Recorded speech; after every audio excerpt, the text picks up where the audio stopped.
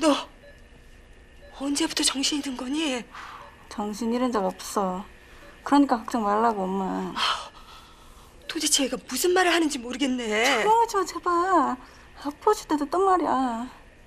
엄만 그저 아무 말 말고 아까처럼 계속 그렇게 울기나 해요. 너 도대체 뭐 하고 다니는 거니?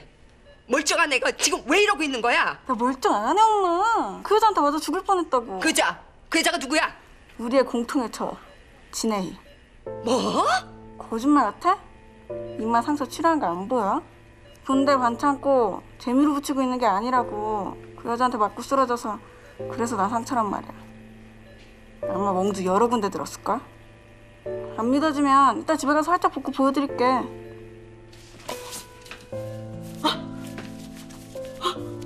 너 이거 진짜 그 여자가 때려서 생긴 거 맞지? 틀림없는 사실이지? 엄마가 사람 못 믿는 건 이해해 아빠한테 배신당하고 사람들에 대한 믿음이 깨져버리니까 안다고 하지만 그래도 딸은 믿어야지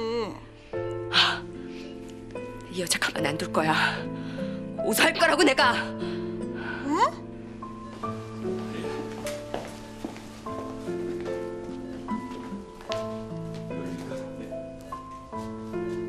자네는 올 필요 없다고 했잖아. 못 봤으니까 나 기절할래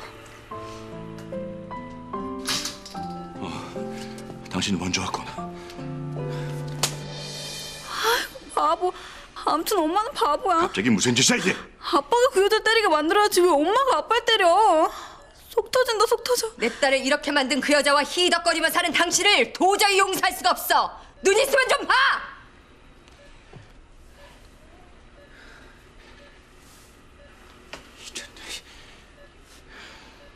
난 그 여자 고소하러 갈 테니까 딸 간호 잘하고 있어.